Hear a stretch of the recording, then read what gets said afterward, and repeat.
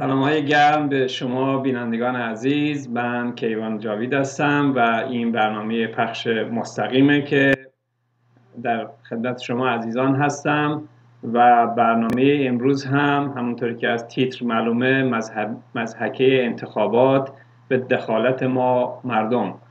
همه جور میگن همه میگن که باید در انتخابات سران حکومت میگن و حتی اصلاح طلبان میگن اصلاح طلبان به اصطلاح بیرون از حکومت میگن بی بی سی میگه و بقیه که به یه نوعی در این انتخابات شرکت کنین.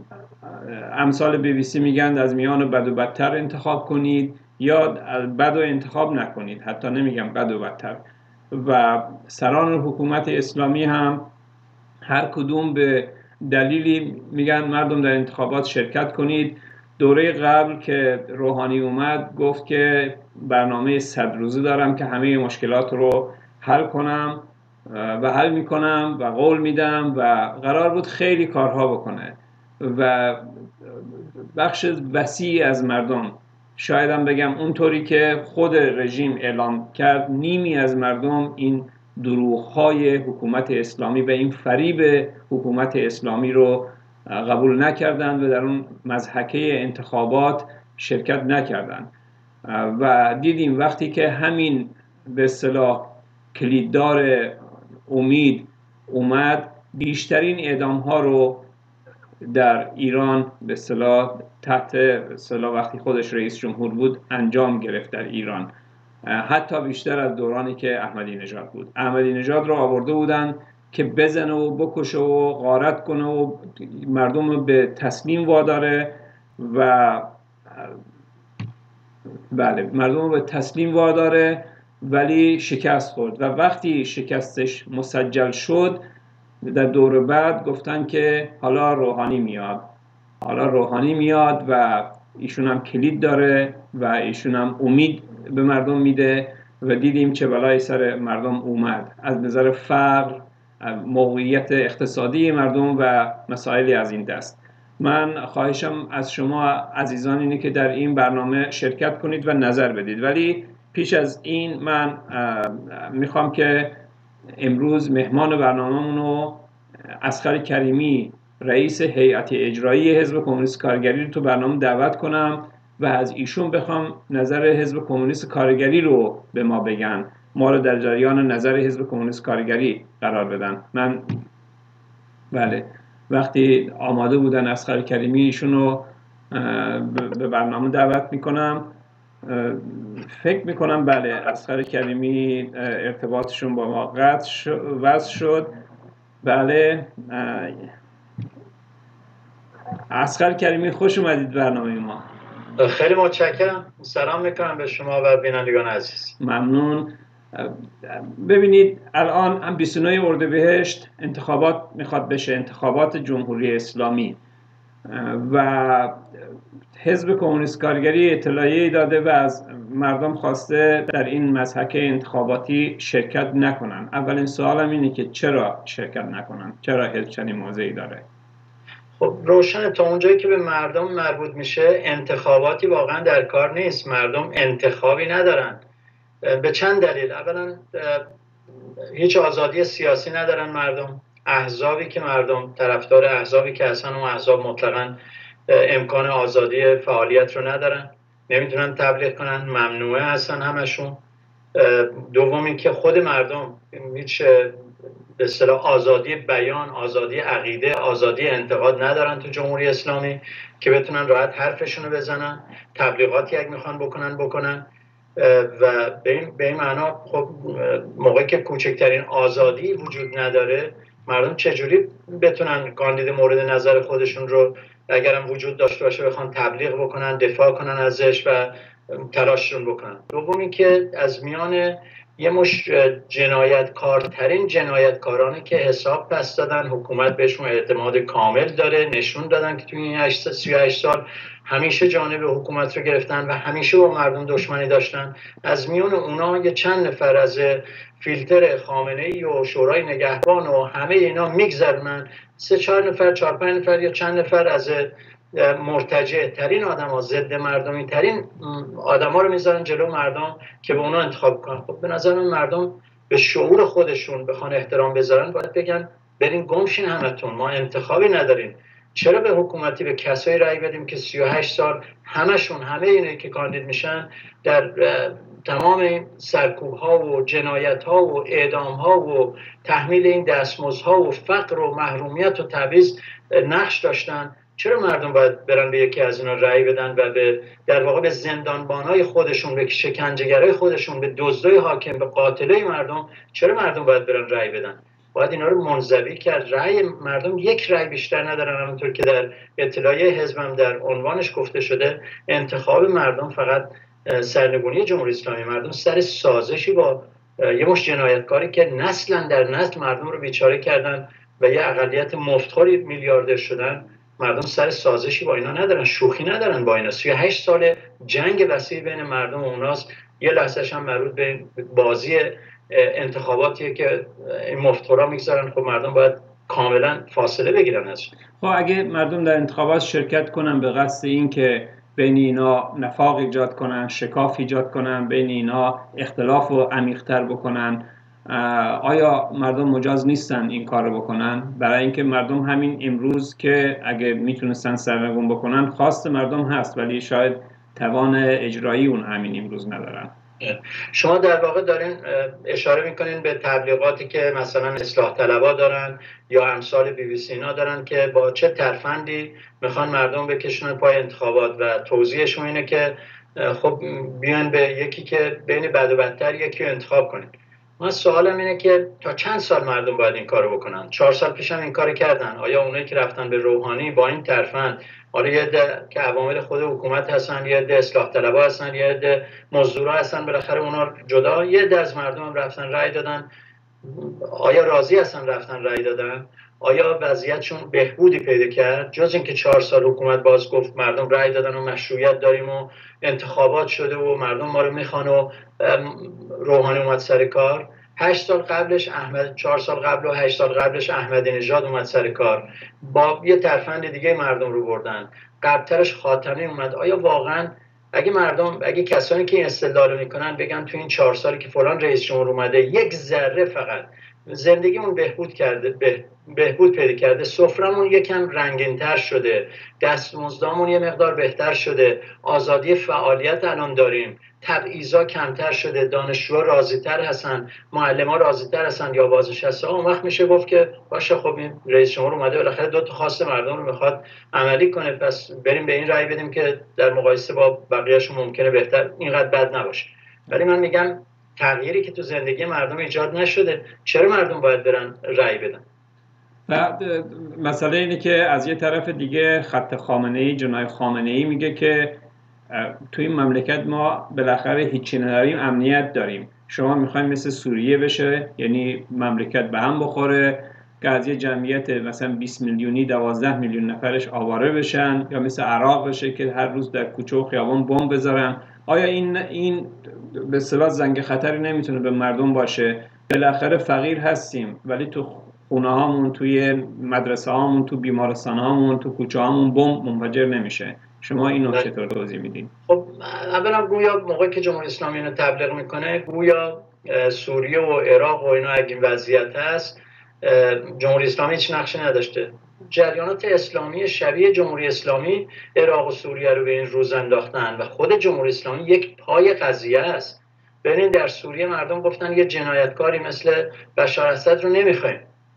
و ناراضی بودن گفتن انقلاب می‌کنیم. اگر این همه سرکوب نشده بودن توسط دولت بشار اسد و جمهوری اسلامی قد حمایت نکرده بود از اون حکومت مردم انداخته بودن به این روزم نمیافتاد داعش هم سربلند نمیگه در عراق هم یک پای این وضعیت و حتی اینکه در مقابل داعش اینجور ارتش فرار کرده و دوره مالکی بود دیگه. مالکی یکی از کسایی بود که پروپاگورس طرفدار جمهوری اسلامی بود و جمهوری اسلامی حمایتش می‌کرد. و امثال جمهوری اسلامی تو کشورم با پول و امکانات امثال سیستانی و امثال مقتدا صدر رو یه جنایتکارای دو آتیشه رو به انداخت به جون مردم و اینقدر مردم ناراضی شدن که خب زمینه پیدا شد که داعش سر بلند کنه. می‌خوام بگم جمهوری اسلامی پیش قراول داعشه پیش قراول این وضعیت دوم اینکه امنیت مردم باید امنیتون تعریف کرد. آیا واقعا کارگری که نون نداره بخوره احساس موقعی که میاد خونه میگه با چقدر من امنیت دارم چقدر آرامش دارم راحت سر می‌ذارم رو بالین با بچه هم موقعی میاد خونه می‌بینه کوچکترین امکاناتی واسه اعضای خانوادش نتونست فراهم بکنه. یا اگه حرف بزنه جاش تو زندانه یا اگه هجابش زن یه ذره اون برتر ببره ده تذکر می‌گیره. می‌خوام بگم امنیت رو باید تعریف کنیم. چه امنیتی؟ مردم نه امنیت اقتصادی دارن نه امنیت حرف زدن دارن نه امنیت اعتراض کردن دارن.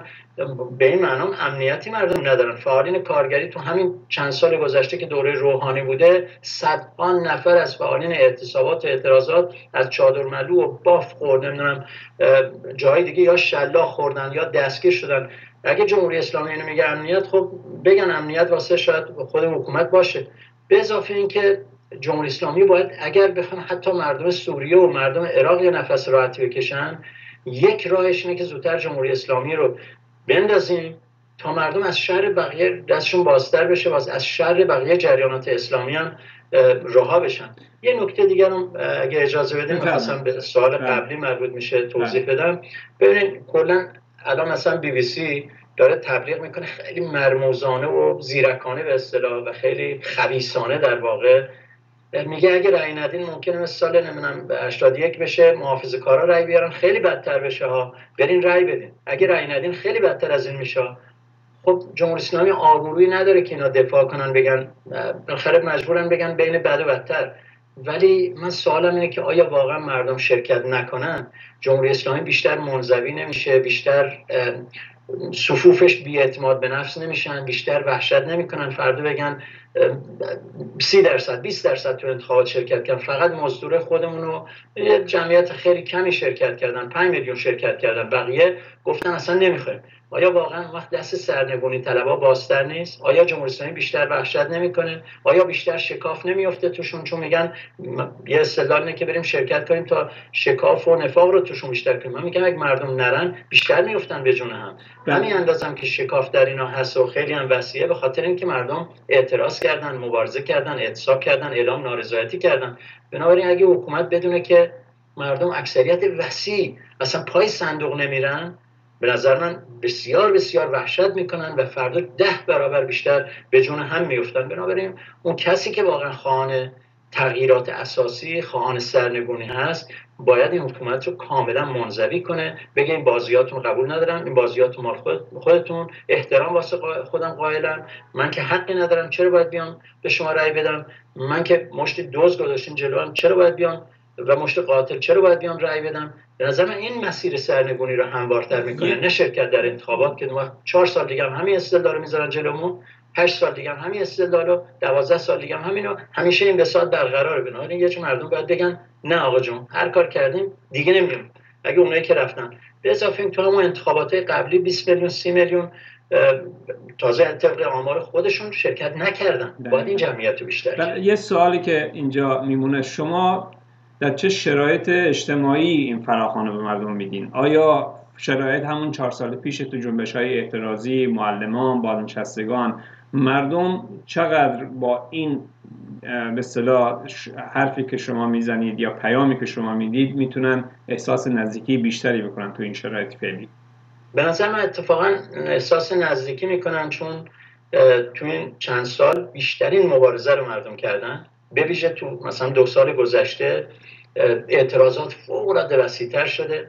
کارگرا اعتصاباتشون چندین برابر زیادتر شده. بازنشسته ها و معلم ها هر روز اعتراض کردن تجمع کردن جوان و دانشجو اعتراض کردن زنها اعتراض کردن انواع نهادها و تشکلها داره بین مردم پا می‌گیره. مردم خوزستان و جای دیگه به خاطر محیط زیست و این هوایی که هست که اینم بخشی از ناامنی زندگی مردم که حتی هوایی آبی ندارن در واقع بخورن.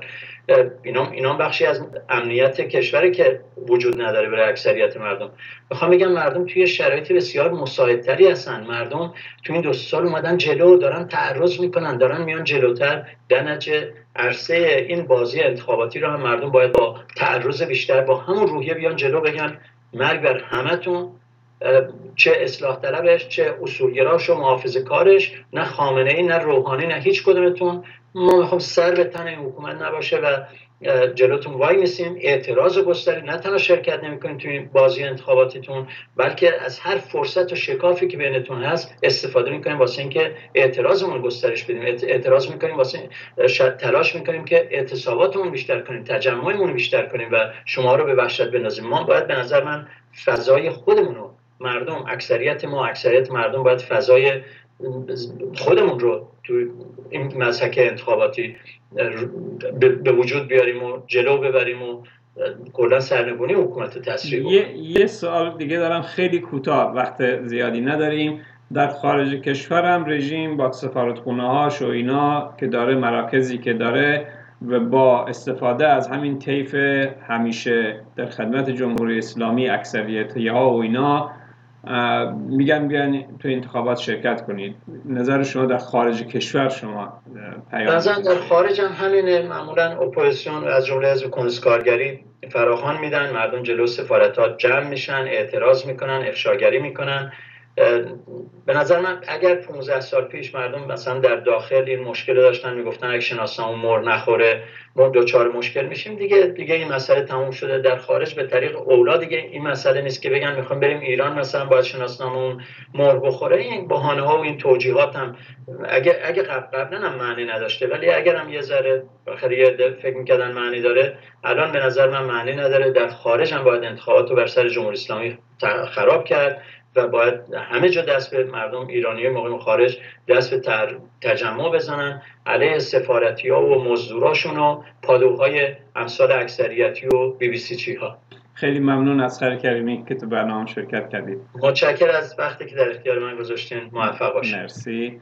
بله گفتگومون رو شنیدید با اسخر کریمی رئیس هیئت اجرایی حزب کمونیست کارگری ایران. این گوشه ای از تظاهرات مردم در سال 88 و وحشت حکومت از همین لحظات. کل حکومت بسیج شده از جنای خامنه ای گرفته تا جنای به اصلاح اصلاح طلب. اصلاح طلب خیلی خندهداره در جمهوری اسلامی. اصلاح طلبی که بیشترین اعدام در دورش به وجود اومده. بفرمایید شما رو خطید صحبت کنید. علیکم خسته نباشین. موضوع برنامه چون متاسفانه پارازیت هست و برنامهتون بله شما می‌تونم بپرسم از کجا زنگ می‌زنین؟ ما از ایران خدمتون بله از ایران زنگ می‌زنید. موضوع برنامه هست سر همین مزحکه انتخابات و وظیفه ما بله بله, بله, بله, بله. بفرمایید. عرض به خدمتون تاریخچه انتخابات واقعا در ایران از روز اولی که شروع شد با رأی آری جمهوری اسلامی ایران نه. چیزهای دیگه. معلوم بود فرمایشیه. تا اینکه به صلاح اومدن دو تا کاندید گذاشتن برای ریاست جمهوری. نمی‌دونم آقای اون زمان آقای هاشمی زمانی که آقای هاشمی شد و یک شخصی دیگه. یا زمانی که آقای رجایی شد باز هم به همین شکل بود. یعنی انتخابات تاریخچه انتخابات در ایران کاملا فرمایشی و حیف کلمه مهندسی رو من بیارم. ببخشید بگم مهندسی شده هست کلمه مهندسی شده نشون از داده های علمی میده و به به باور مردم مثلا سعی می‌کنه به سمت سوق سمتی پیش ببره که به نفع مردم باشه به نفع اقتصاد مردم باشه. اما این کلمه مهندسی رو هم نمیشه روی این انتخابات گذاشت. یه سری مذارت می‌خوام. مزحک یعنی واقعا فراخورترین کلمه همین مزحکه بود که با این مزحکه می‌خوان مردم بیان و رأی بدن. و مردم ما هم چه زود باور می‌کنن. به خدا شاید هموطنانی داریم. در درجات بالای علمی میاد میگه نه ما با همین انتخاباتمون بین بد و بدتر میایم. بد و بدتر بل بد و انتخاب می‌کنیم. آقا اصلا شما حق نداریم به بد انتخاب رأی بدید شما باید وقتی انتخابات خوب بود رأی بدید رأی شما رأی به نظام هست. اصلا مهم نیست به کی رأی میدین چون برحال اون هر کی که بخوان از صندوق در میارن. این مثلا که انتخابات بعد از عید هم همین چیزو داره. جناهایی مثل احمدی نژاد اومدن تو مثل ببخشید روحانی باز داره تعریفی دیگه می‌کنه. اینا همش بازی هموطنان عزیز. واقعا اگر بخواید توی انتخابات شرکت کنین یعنی واقعا به شعور خودتون توهین کردید. یعنی خودتون بازیچه قرار دادید همین. مرسی ازم خیلی ممنون. مرسی که زنگ زدید تماس گرفتید و ممنون از پیامتون. زنده باشیم الو بفرمایید. سلام وقت شما بخیر. سلام بفرمایید. شما رو خط برنامهتون خدمتتون تماس گرفتم. بله ممنون. می‌تونم بپرسم از کجا زنگ می‌زنین؟ اگه ممکن از سوئد خدمتتون تماس می‌گیرم. بله بفرمایید. شما رو خطید صحبت کنید. در خدمتتونم. بنده شروع کنم یا شما بله شما بفرمایید در مورد همین مزحکه انتخابات جمهوری اسلامی هست که به حال 29 اردیبهشت قرار از میان بله. چند تا از سران خود این حکومت اونایی که امتحان پس بله. دادن یکی دوباره انتخاب بشه بله. بنده احمد حسینی هستم. خدمت شما و تمام بیننده محترمتون. سلام عرض می‌کنم. مرسی. ببینید ما سالیان سال بعد از رفراندوم سال 57 که در عرض فقط یک گزینه داشت جمهوری اسلامی چیزی به اسم انتخابات نداشتیم. همیشه انتصابات بوده. و گزینه هم به اسم بد و بدتر نداریم. چون طبق حرفی که خود سران مملکت می‌زنن مردم ایشکارن و عملا هر کسی که نظر رهبر رهبری بهش نزدیکتر باشه انتخاب میشه. از پیش تعیین شده از همه چیز. و نظام کلا دنبال حضور مردمه که خودشو بودن خودش رو توجیه کنه. بیشتر مصرف خارجی داره تا مصرف داخلی. که به دنیا نشون بده که آره مردم ما رو می‌خوان مردم در صحنه هستن انقلاب رو دوست دارن و به انقلاب وفادارن. در صورتی که همچین چیزی نیست اصلا به هیچ وجه. و متاسفانه اتفاقی که داره میفته با انحصاری که حکومت از رادیو تلویزیون مطبوعات و همه چیز داره سانسور شدیدی که میشه تمام مجاری تبلیغاتی دست اوناست. خب عملا برنامه های خودش رو داره پیاده می‌کنه و از قشر عوام اگه دقت کنین موقع تبلیغات که میشه اکثر سرمایه گذاریشون حضور مردم عادی رو وسط میاره و از استفاده می‌کنه. و به این ترتیب با جنگ های زرگری که راه میندازه داغ کردن تنور انتصاباتش بازم عرض می‌کنم انتصابات نه انتخابات مردم رو می‌خواد به بازی بگیره و مشروعیت خودش رو واسه خودش بخره و چهار سال خودش رو تمدید کنه بله شما می‌تونم بپرسم چند ساله در سوئد زندگی می‌کنی؟ من حدود یک ساله بله من بله. به عنوان یه جوون صداتون مشخصه که جوون باید باشین شما بله. توی... تصویر منو نداری شما؟ جان من نه من شما رو با تص... با اسکایپ زنگ زدم خدمت بله ولی شما تصویر ندارید. یعنی فقط بله. اینجا فقط یعنی اسکایپتون روشن نیست در واقع. به حال. بله. اگر روشن بود حتما چون اینجا نمی‌بینم تصویرتون رو. به حال بله. مثلا سوالم اینه که شما یک سال پیش گفتید از ایران اومدید. به عنوان یه جوون تو ایران فرقش با سوئد که الان زندگی می‌کنین چیه تو این یه سال؟ ببینین حالا من که میان سال هستم. حالا شما لطف کردین فرمودین جوان. آرزم خدمتتون که تفاوت های جامعه که اصلا تفاوت زمین تا آسمونه نمیشه مقایسه کرد با هم. اللحاظ آزادی بیان اللحاظ حق اجتماعی امنیت اجتماعی. متاسفانه من تعریفی که از امنیت تو ایران میشه کاملا غلطه. امنیتی که آقایون دارن عنوان می‌کنن چون من صحبت های جناب کریمی رو هم گوش می‌کردم ببینید می‌خوام اضافه کنم یه عرضی خدمت به فرمایشات ایشون. امنیتی که حکومت داره میگه امنیت خودشه نه امنیت مردم. وقتی میگه ایران امنیته داره واسه خودش داره میگه نه واسه مردم. مردمی که مرتب سرکوب میشن حق اعتراض ندارن حق برگزاری تجمع ساده رو ندارن حق فعالیت مدنی ندارن. این که نمیشه امنیت نه امنیت اقتصادی دارن نه امنیت اجتماعی دارن. هیچی. و در نتیجه امنیتی وجود نداره تو اون حکومت. این اولین تفاوتی که جامعه سوئد با جامعه ایران داره. بله. از همه مهمتر برمیگرده به این مسئله که شما اینجا آزادی بیان داری آزادی اندیشه داری. الان این جوانای بیگناهی که حکم اعدامشون به خاطر بیان عقیدهشون به خاطر انتخاب شخصی خودشون در اومده و تو زندان جهل دارن ببخشید شکنجه میشن و آزار می‌بینن به خاطر چیه؟ به خاطر این یعنی امنیت به نظر شما؟ امنیتی وجود نداره. وقتی. که مذهب باشه امنیتی نیست. خیلی خیلی ممنون. مرسی که در برنامه شرکت کردی. دوستای دیگه زنگ می‌زنن و در خدمتتونم. بله اگه لطف کردین وقتی که به بنده امیدوارم به عنوان یه پیام به عنوان یک هموطن امیدوارم این دفعه مردم پای صندوق نرن. چون بله. هر دفعه من با کسایی که میشناختم تو ایران صحبت می‌کردم یکی رو نمیریم. بله. ولی حالا به ببخشید مجبور شدم دوستمون رو قطع کنم. شما عزیزم رو خطید لطفا صحبت کنید. الو؟ الو؟ بفرمایید صحبت کنید شما رو خطید. بله عزیزم صدای تلویزیونتون رو کم کنین. بعد صحبت کنید چون من الان صداتون رو میشنوم. بفرمایید صحبت کنید.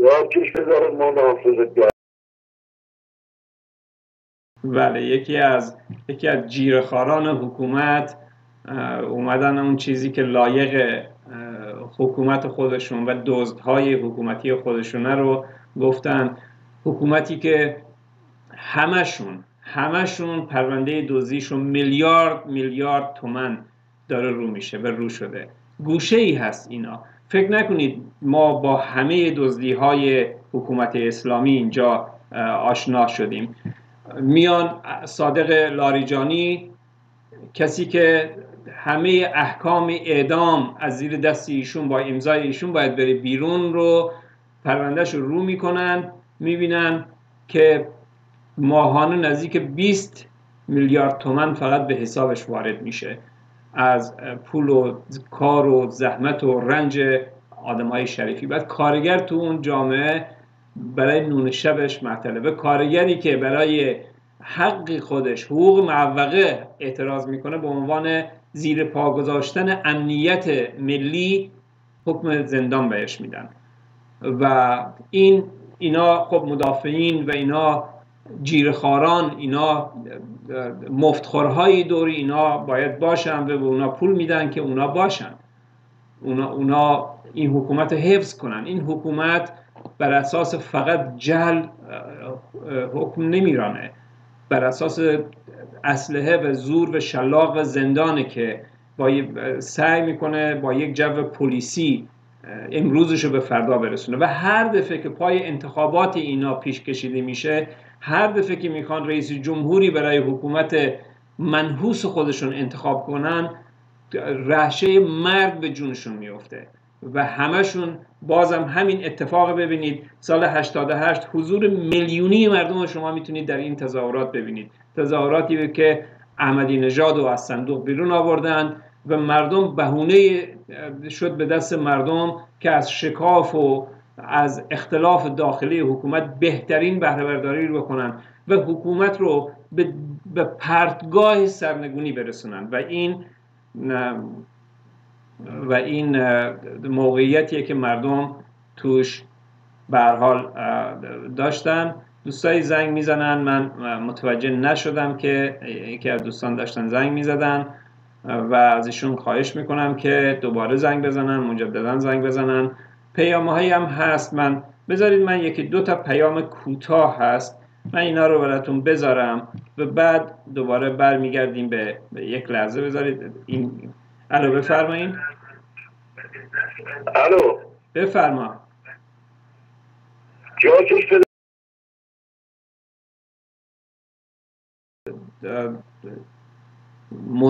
حکومت اسلامی و همون کسی که در خدمت جمهوری اسلامی کی می‌تونه واقعا کی می‌تونه بیاد در در این تلویزیون؟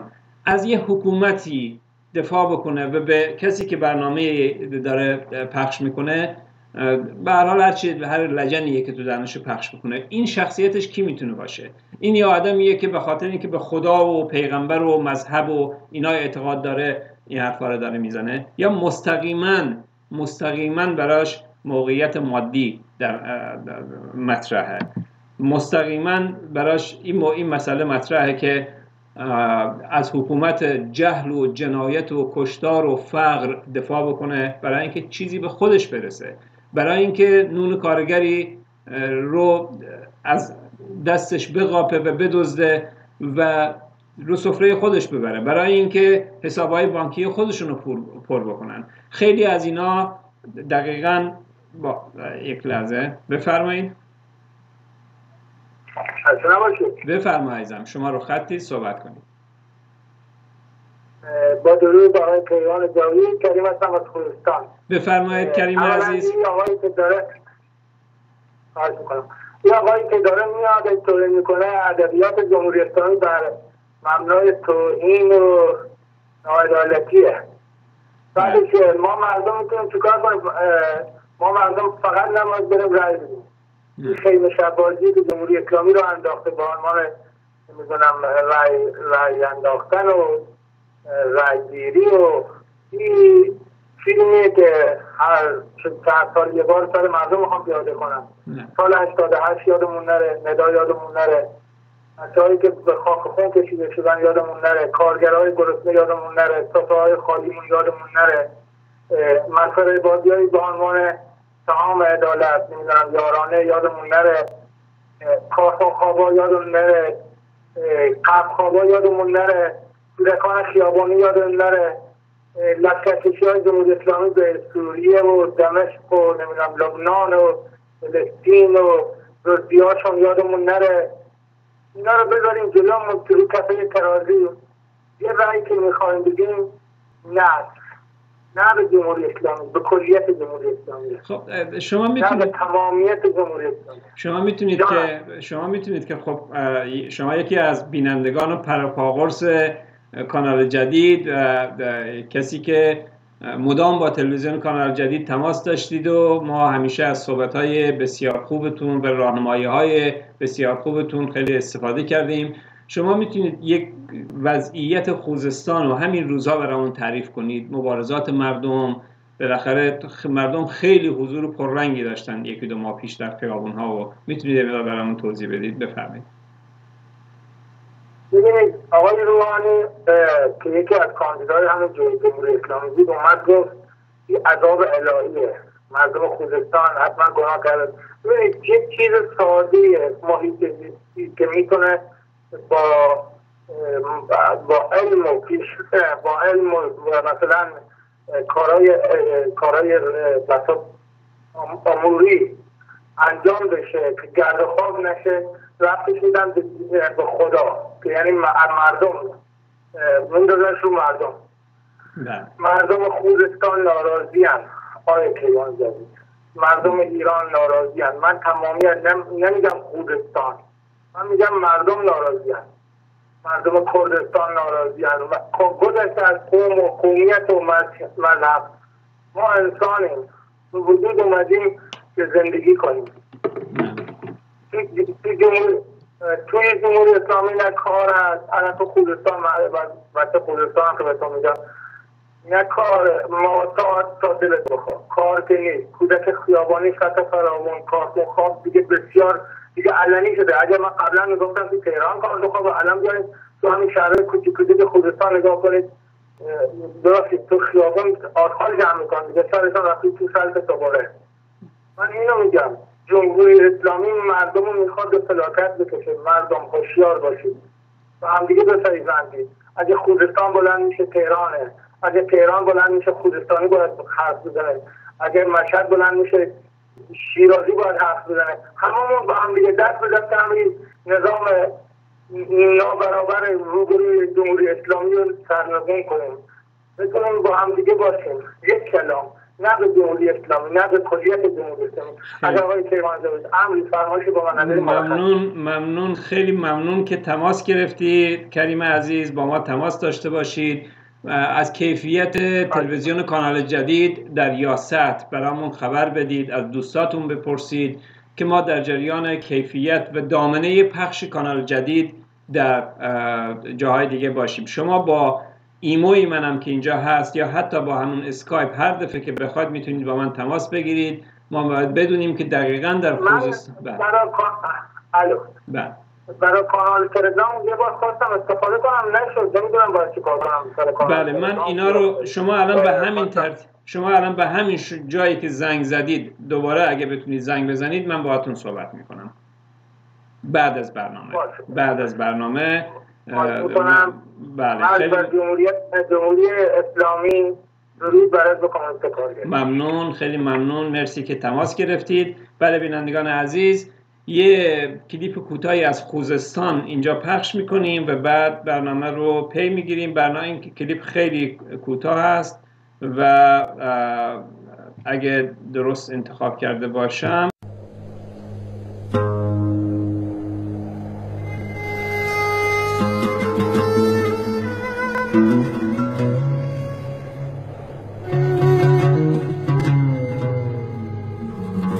از وسط آبادی فقط 11 تا لوله گاز و نفت رد شده. نفت با گاز قاطی است.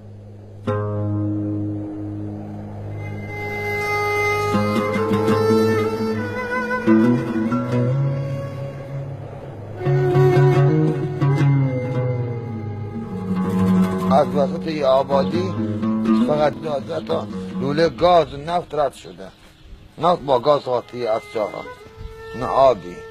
نه جاده اسفالتی همش خاکیه. یعنی حتی شین ریزی هم نیست. آب نداریم.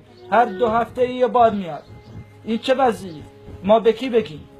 هیچ کس حرفمون رو نمیشنده ما همون بیکاریم. من می‌خوام ببینم. این همه نفت این همه نفت. نباید ما خودمون یک کارگر توی احواری کار کنیم. جاده ای داریم برامون آمده.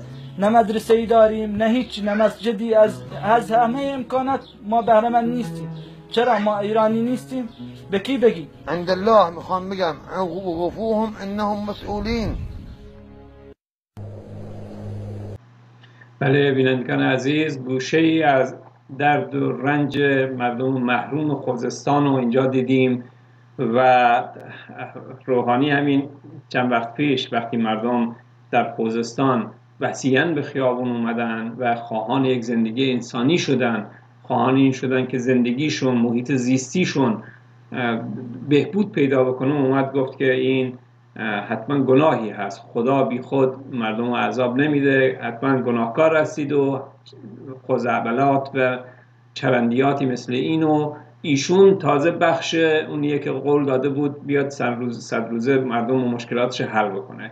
و این نشون میده که ما با چه حکومتی با از همه جناهاش باش درگیر هستیم و اینا کی هستند و انتخاب ما در مورد این حکومت به نظر من روشنه. به نظر من 90 درصد 95 درصد مردم ایران دلشون با اینی که این حکومت سرنگون بشه.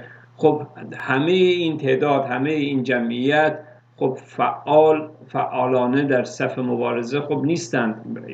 صف مبارزه سرنگونی. اما همیشه در هر جامعه اون بخش فعال جامعه هست که راه رو نشون میده موانع رو از جلوی پا ور میداره مردم رو متحد می‌کنه و در همه انقلابات اینجوری بوده. ولی شرایط امروز ایران رو نگاه می‌کنیم می‌بینیم میلیون میلیون مردم متشکلن و اعتصاب می‌کنن. معلمان رو نگاه کنید و دانشجوها رو حتی نگاه کنید.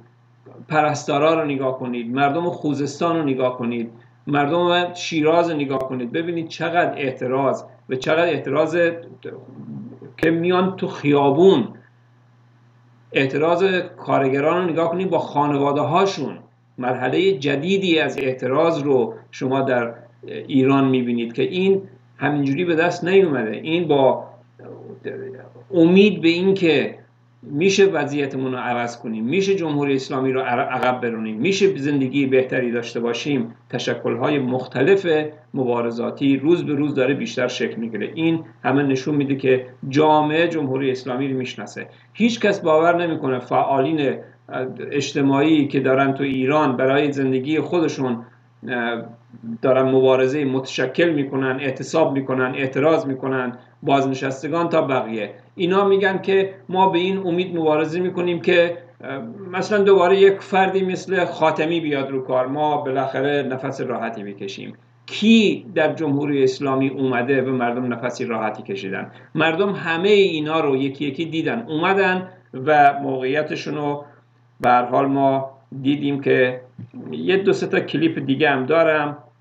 دوستانمون پیغام گذاشته بودن و چون موقعی که شما زنگ می‌زنید پیغام ها میره روی پیغامگیر یعنی صحبت شما. من ترجیح دادم این دو تا پیغام اینجا پخش کنم که دوستانمون دلگرم بشن و خوشحال بشن از اینکه پیغام گذاشتن. اینا رو هم با هم گوش می‌کنیم.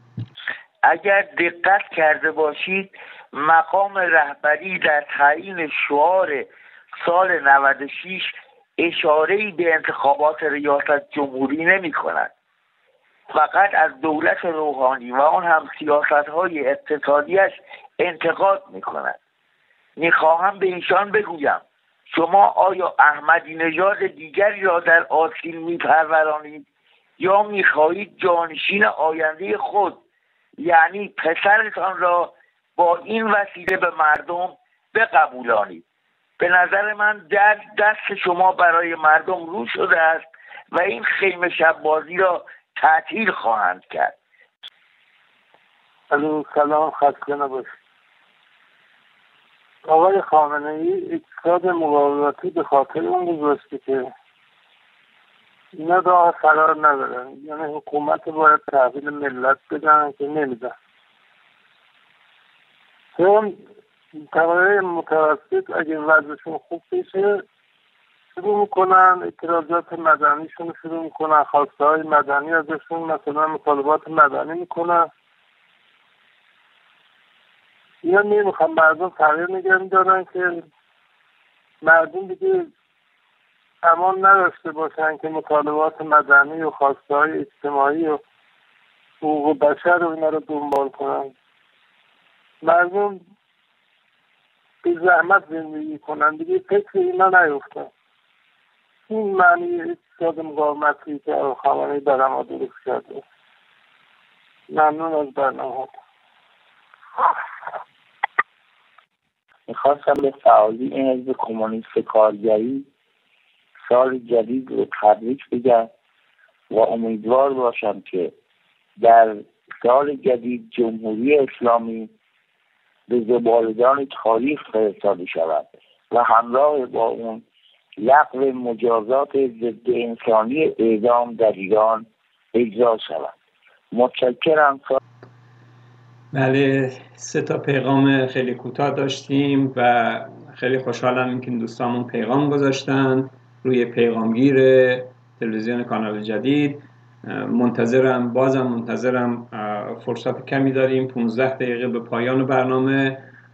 و دوست دارم دوستانمون از طریق ایمو با ما تماس بگیرن. شماره تلفن ایمو هم اینجا هست. اگه در گوشی تلفنتون شما اپلیکیشن ایمو رو دانلود بکنید و از طریق ایمو شماره که دو صفر چلو شش هفتصد سیزده بیست و هفت هفتاد دو رو بگیرید مستقیم می‌تونید در برنامه شرکت کنید و این راه امنی هم هست و براتون خب هزینه ای هم نداره. اگه اینترنت خونگی داشته باشید یا به هر حال اگه دسترسی به اینترنت در موبایلتون داشته باشید این راه خیلی خوبیه.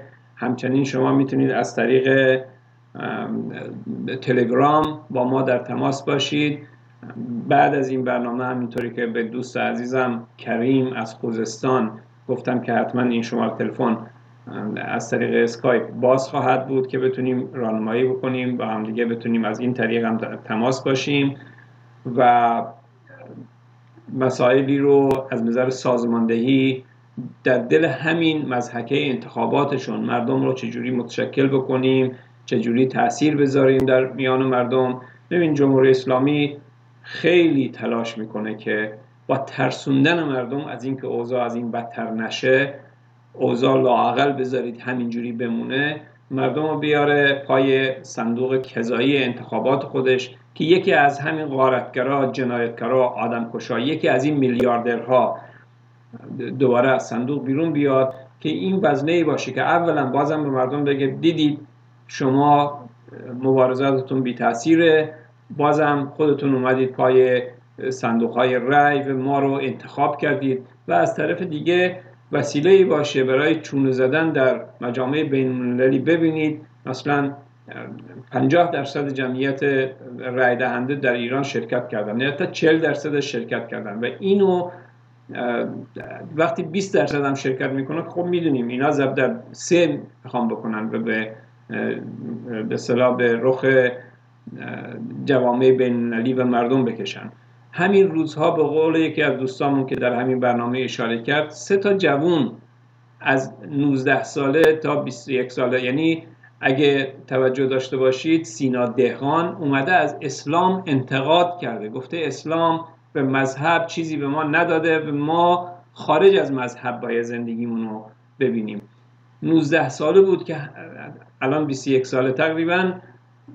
یک سال و نیم تا یه چیزی بیشتر الان در زندان به حکم مرگش و همین صادق لاریجانی ها همین ها صادق لاریجانی حکم مرگش رو دوباره تایید کرد. دادگاهی که به این جوون به خاطر انتقاد از اسلام و محمد حکم مرگ داده تایید کرده. چرا؟ برای اینکه این همه میلیارد تومنی که میدوزدن کمه براشون. یا وقتی این موج عظیم بی خدایی به خدا ناواوری و ماهیت پلید مذهب که چجوری نه فقط در خدمت سرمایه هست سرمایه‌دارها و دزدها هست بلکه شریکن با هم دیگه با هم میچاپن مردم رو و این به محمد نوری و سهر الیاسی به این ستا جوان به سهر الیاسی سه سال زندان و به اون تا جوان حکم مرگ دادن. اینا شما دیدید اونی که خودش رو میگه که من فرق می‌کنم با خامنه ای من فرق می‌کنم با احمدی نژاد. منظورم خط روحانی و جناح روحانی. شما دیدید بگه که آخه این چه وضعیه؟ اصلا انتظارش شما دارید که اونا این حرف رو بزنن؟ یا دست در دست هم اومدن که زندگی شما مردم رو غارت کنن و زندگی سفره شما مردم رو بیش از این خالی کنن؟ فضای جامعه به نظر من به شدت بر ضرر حکومت اسلامیه و همه جناهای حکومت اسلامی می‌دونن. طوری شده که احمدی نژاد میاد تو تلویزیون حالا در لفافه هرچی تو دهنشه به خامنه ای میگه و راست راست در اون مملکت میگرده. و می‌دونیم منفورترین آدم در اون مملکت خود احمدی نژاده ولی این احمدی نژاد چون نتونستم با همدیگه دزدی و غارت و جنایتشون رو به صلاح تداوم بدن میاد رو در رو به این که من دارم به روحانی یه حرفی می‌زنم هرچی تو دهنشه به خامنه ای میگه. این در این شرایطیه. این در شرایطیه که مردم هر روز در تهران در جلوی مجلس ارتجاع اسلامی دارن تجمع می‌کنن اعتراض می‌کنن. این در شرایطی که خانواده که ضد اعدام هستند علیه اعدام هستند یه یک ماه پیش 500 نفر از این خانواده ها اومدن در جلوی مجلس اسلامی تظاهرات کردن. علیه اعدام. نه فقط جالبش نکته جالبش اینجا است. نه فقط خانواده هایی که بچه هاشون زیر حکم اعدام هستن بلکه خبر اینجوری مدافعین این افراد. کسایی که علیه اعدام هستند هم در این در اینجا حضور داشتن و این نشون میده جامعه ایران علیرغم اینکه خود جریانات اسلامی بخشن. منطقه رو سوریه رو عراق و یمن رو به این روز انداختن در خود قلب حکومت اسلامی یا جریان اسلامی جنبش عظیمی شکل گرفته. روز به روز قویتر میشه که همین سینا دهقان و محمد نوری و سهر الیاسی یک نمونه کوچیکی از اون جنبش عظیم علیه مذهب و علیه این جنبش این افراد این جوانها باید نه محکمی به حکومت اسلامی بدن در همین مزحکه انتخاباتشون باید بگن ما نه تنها در انتخاباتتون شرکت نمی کنیم بلکه این روزهای انتخابات رو بر علیه شما بسیج میشیم نیرو می‌گیریم جوونا رو بسیج می‌کنیم بی خدایان رو بسیج می‌کنیم دانشجویان رو بسیج می‌کنیم کارگران و معلمان و پرستاران رو بسیج می‌کنیم که به شما بگیم نه به حکومت غارت شما نه به حکومت استبداد شما نه به حکومت ارتجای مذهبی و خرافات شما. ما جامعه آزاد می‌خوایم ما جامعه برابر انسانی می‌خوایم ما حقمونه. مثل همونطوری که دو تا از این عزیزانمون از خوزستان گفت گفتن. خوزستان مرکز چپاول این جانیانه. یعنی جاییه که اینا بیشترین چپاول می‌تونن از فروش نفت و گاز و اینا اینجا به جیب بزنن. ولی مردمش میگن نه کار داریم. یه جاده رو نگاه می‌کنیم مثل این که از عهد عتیق اومده بیرون. و جانی مثل روحانی میگه میگه که اگه وضعیتتون اینجوریه اگه گرد و غبار دارید اگه نمی‌تونید نفس بکشید برای اینکه شما گناه کردید. خوبش داره اینجوری میگه در حکومت اسلامی. خب دوستان عزیز وقت برنامه خیلی کوتاه است. من اینجا اطلاعیه حزب کمونیست کارگری رو براتون در مورد همین انتخابات اینجا براتون پخش می‌کنم و با پخش این اطلاعیه از حضور شما مرخص میشم. همینجا براتون بهترین ها رو آرزو می‌کنم. امیدوارم در برنامه های دیگه باز هم باشیم و تماس تلفنی ما بیش از پیش بتونیم اینو برقرار کنیم. ممنون و شب همگی شما بخیر. انتخاب مردم سرنگونی جمهوری اسلامی است. بار دیگر مردم ایران در آستانه شعبد بازی سیاسی به نام انتخابات در جمهوری اسلامی قرار دارند.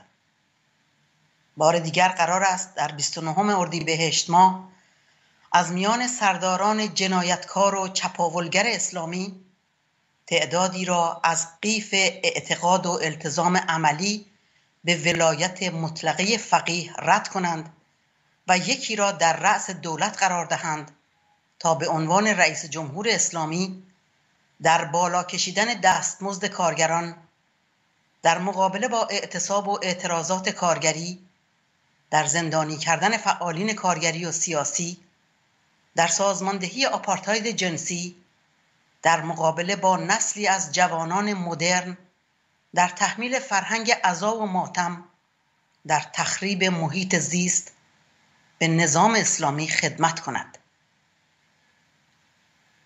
بعد از 38 سال حاکمیت سرمایهداری اسلامی چه کسی نمی‌داند که انتخابات در جمهوری اسلامی کشمکش باندهای حاکم بر سر قدرت و تقسیم پست هاست کشمکش باندهای مختلف حکومت برای بردن سهم بیشتر است. دعوای جناها بر سر عمر خریدن برای جمهوری اسلامی است. تقلای سیاسی برای عرضه کردن چهره مشروع در جهان از حکومتی منفور است. مثل همیشه سران حکومت نگران از انزجار مردم از حکومت اسلامی و انتخاباتش به هر حق بازی دست می‌زنند تا مردم را پای صندوق ها بکشند. عکس گرفتن با زنان و جوانان را شروع کردند اصلاح طلبان ملی اسلامی برای داغ کردن معرکه انتخابات دست به کار شدند مثل همیشه بی بی سی و صدای آمریکا و طیف اکثریتی تودهی در نقش پادوهای کمپین انتخاباتی اصلاح طلبان جمهوری اسلامی ظاهر شدند مثل همیشه این طیف در نقش دلغک های سیاسی بازی نخنمای انتخابات میان بد و بدتر ظاهر شدند و این بار عراق و سوریه را جلوی چشم مردم می‌گیرند تا مردم به تداوم حکومتی رضایت دهند که خود پیشکسوت داعش در منطقه و یک پای اوضاع فاجعه بار عراق و سوریه بوده است. در مقابل این شارلاتان ما کارگران ما زنان و جوانان ما مردم ستم دیده و محروم خوب می‌دانیم که رفسنجانی و خاتمی و روحانی و اصلاح طلبان همیشه از ستونهای اصلی این امارت خونین و چرکین بودند. خوب می‌دانیم یک دلیل مهم اختلافشان در بالا ترس از سرنگونی است. اما حکومت اسلامی اصلاح پذیر نیست و مردم اصلاح حکومت را نمی‌خواهند. مردم هیچ جناهی از حکومت را نمی‌خواهند.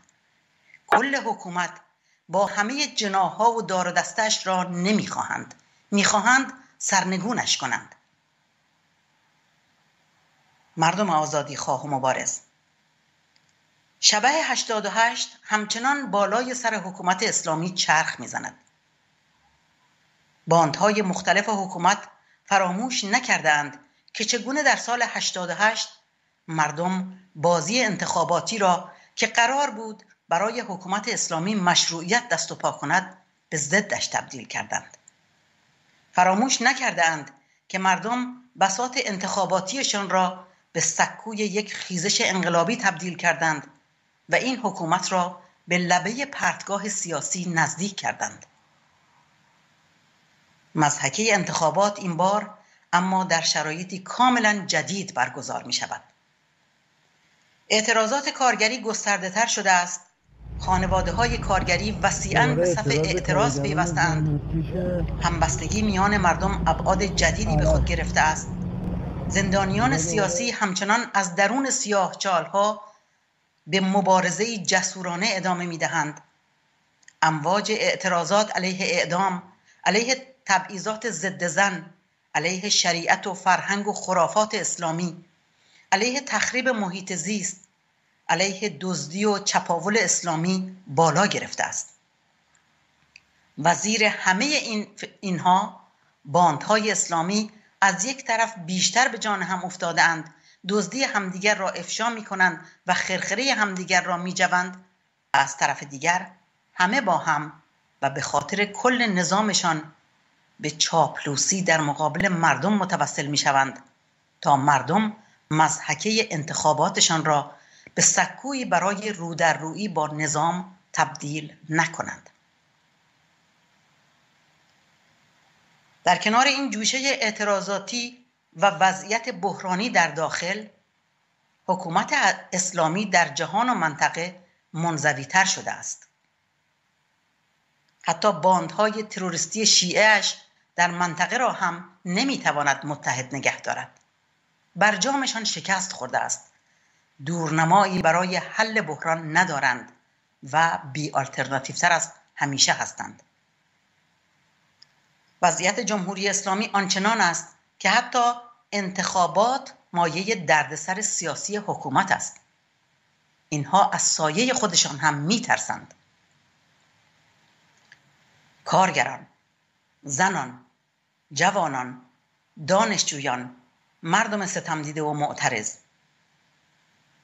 در چنین شرایطی ما باید و می توانیم این بازی سیاسی درون حکومتی را به فرصتی برای متشکل شدن صفوفمان افزایش دستمزدها تحمیل بیمه بیکاری و بازنشستگی آزادی زندانیان سیاسی پایان دادن به تبعیض جنسیتی تحمیل آزادی های سیاسی و مدنی و فرهنگی تحمیل پوشش اختیاری و لغو حجاب و بالاخره برای گسترش اعتراضاتمان و به چالش کشیدن کل این حکومت تبدیل کنیم. ما باید این مسحکه را به فرصتی برای قدرتمند کردن جنبش سرنگونی و پایان دادن به فقر و بیحقوقی و سرکوب و اعدام و شکنجه پایان دادن به کابوس جمهوری اسلامی تبدیل کنیم. نبردی بزرگ میان ما کارگران ما زنان ما جوانان و ما مردم محروم و ستم دیده ما مردم معترض و مبارز. با شما سرمایه داران شما آیت الله های میلیاردر شما دزدان شما مرتجعین شما قاتلان و شکنجهگران شما نمایندگان اسلامی سرمایه در جریان است.